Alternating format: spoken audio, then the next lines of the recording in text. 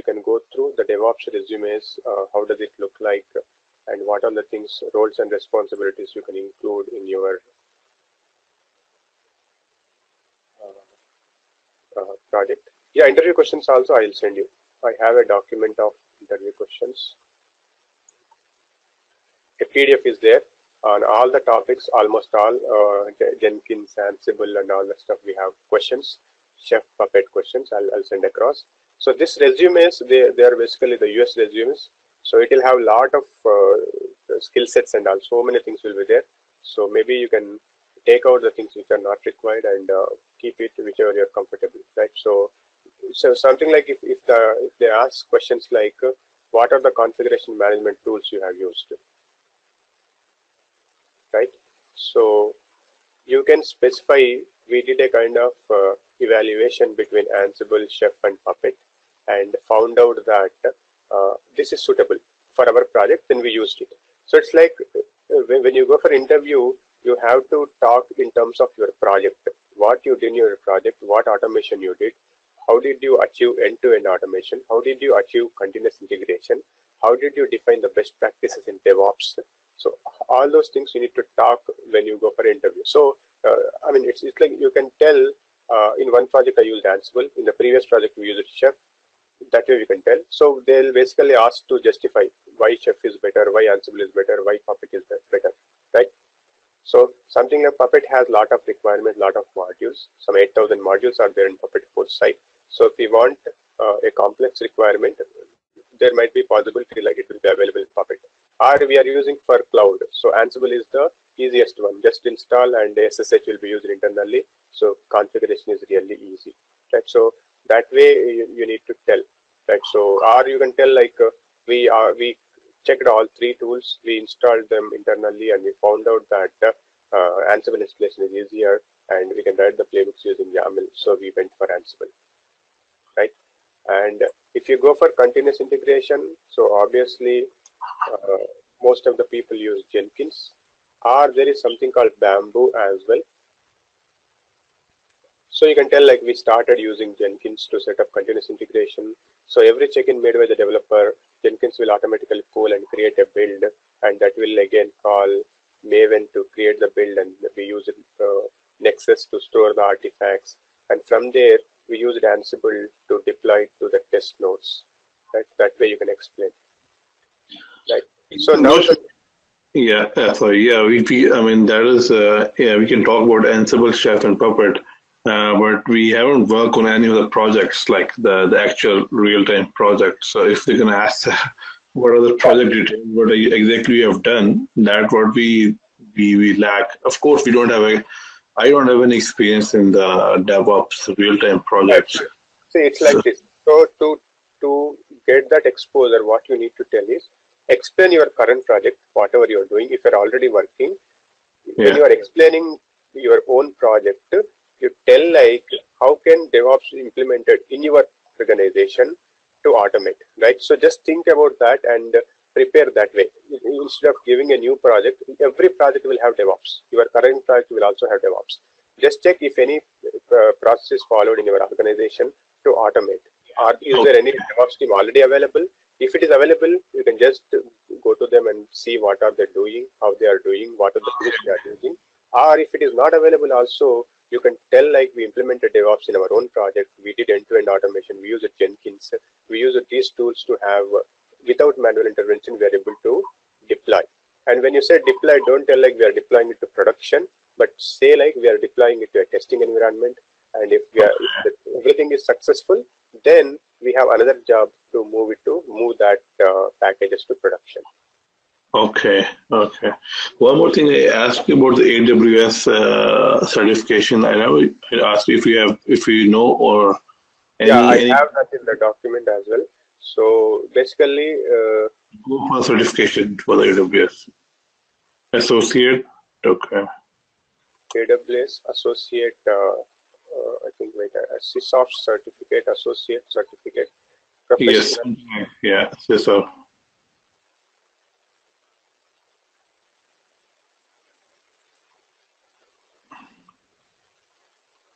So AWS DevOps certificate certification is also there. uh, but this is open for five, some time only. And these certifications are valid only for two years. So after two years, again, you have to review.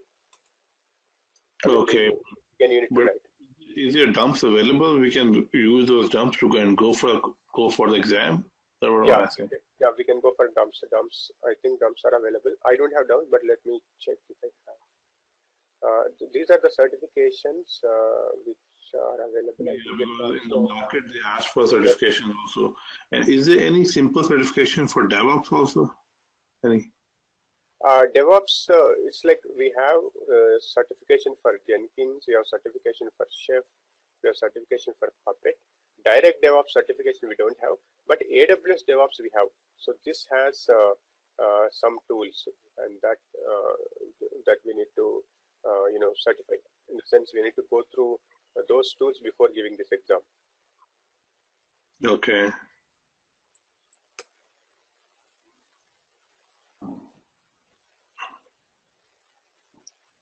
associate solutions architect, developer associate, sysops associate, professional level, solutions architect professional, DevOps professional. Special certifications, we have big data certification and network certification. So these, this is the basic level. This you can easily clear. Solutions architect associate.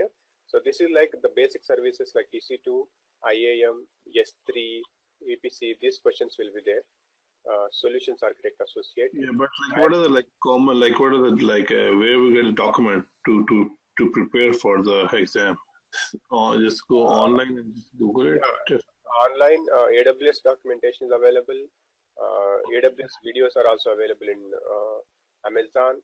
Or you can also go through. There is uh, there is a guy called uh, Ran. He has actually implemented almost all the AWS implementation throughout the user uh, US. Okay. So his videos are very much popular. So there is a site called Udemy. So he has uh, uh, given, uh, I mean, he has provided all his videos on this thing Udemy. We can buy an account and uh, go for the certification. So I mean, the, the, there will not be anything uh, in depth. It's very basic things. So mostly whatever we have discussed uh, will be there in that, but that will be sufficient for the exam, uh, associate level this thing for uh, solution. Okay. architect. But Okay. solution ar- professional is a little bit in depth, the certification professional level. Or if you want to go for either sysops or DevOps is also good. So to start with solution architect associate, then solution architect professional, then DevOps. These three certifications we go for DevOps or sysops.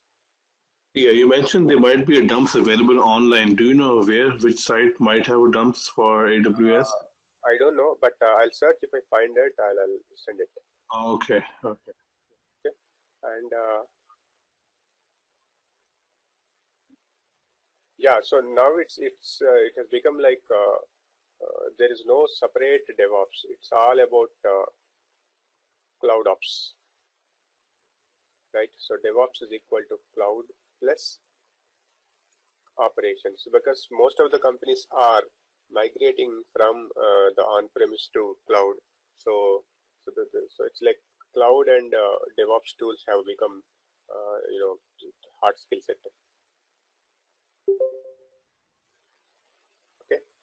So coming to the interview preparation, these are the things which we need to prepare, and uh, so one tool for each uh, area is fine. Something like for configuration management, you can tell I'm comfortable with this tool. At least we should have idea about how to write the playbooks, how to download the playbooks, how to modify that kind of stuff. Either Jenkins or Bamboo or Git, GitHub or Stash or Bitbucket. These are the similar tools just for storing the code, code repository, right? And then uh, what else we have? Build tools, we can tell either Ant or Maven. Maven is the preferred one, right? And then uh, what else we have? Artifactory tool, storing the artifacts, either Nexus or Artifactory. So Nexus is fine, right? And then again, continuous deployment for CD, we can use either uh, Ansible or Chef or Puppet for deploying it to the test nodes, right? So uh, how do you follow process? That is also an important question. What is agile? These kind of questions you may expect in interview. Uh, we use Jira tool, right? So Jira tool is a kind of ticketing tool. We open the, so just to track the status of who is working on what, what is the status of the ticket and all we use Jira. So it's simple, just to create a ticket and assign it to yourself or there will be multiple people working on it so there will be a scrum master in the agile, right? So he will create the tickets and assign it to different people and people start working on it, right? Or there is something called Confluence tool also. This is for the documentation. Just we maintain the documentation inside this tool, Confluence tool. This is a link web URL is provided. Is Jira is also open source? No. Jira uh, is... I think no. Jira, okay. yeah, these all are Atlassian products but I think we need to buy. Uh, okay, so Jira is just remedy, right? Remedy ticketing tool, right? Yeah, it's just a ticketing tool. It's like just to track the status, who is working on what. Uh, okay. So, so we just get the status. We have something called dashboard, so that all the team members' names and who is working on what will be displayed on the Jira tool. Okay, like Remedy or ServiceNow, right? Uh, just a minute.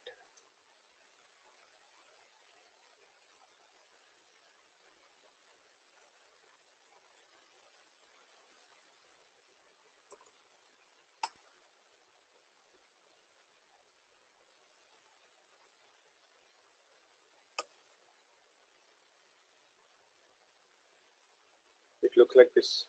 Yeah.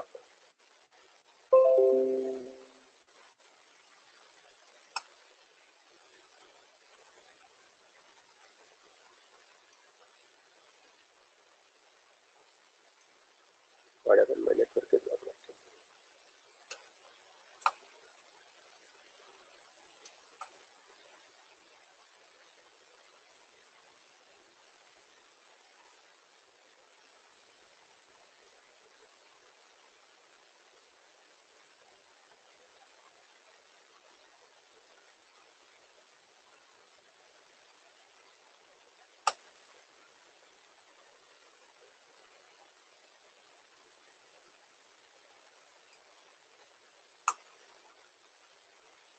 I think there's some problem with the network, but I would have shown it's it's a very simple tool. Uh, just uh, we open the issues. There is something called issue story.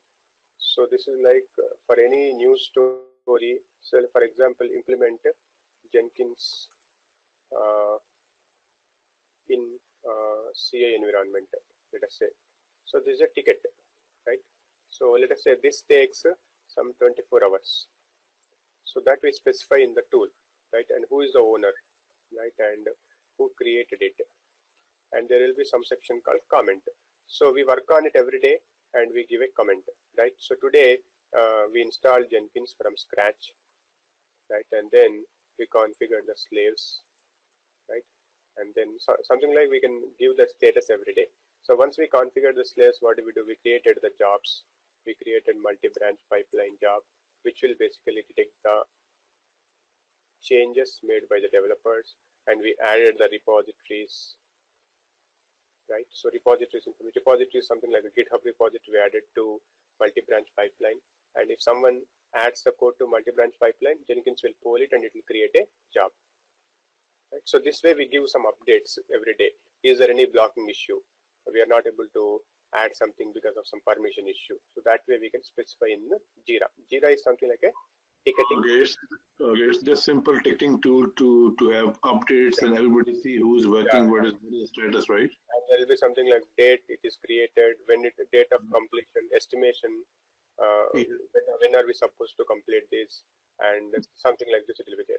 Santosh, can you can you give us like a brief uh, uh, total process flow, how it is working, how DevOps is implemented or working in your environment practically? So we have understanding like how actually we have understanding about just one of the DevOps environment and like somebody is yeah, working actually, in. I was I was trying to do that, but I'm somehow not able to I connect. Think it might be because of the go-to meeting. It won't let you the VPN. Probably, I think so.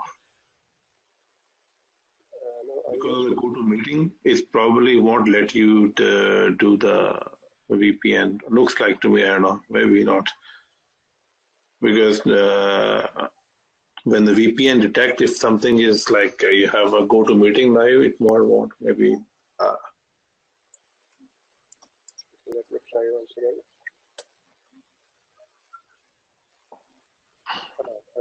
So this is the dashboard, this uh, Jenkins dashboard, and uh, yeah, if you can picture as well, like like how things are working.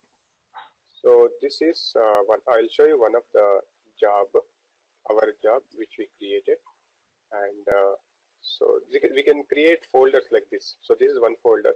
Under that there will be another folder. Under that there will be different directories. So these are the different actually microservices means applications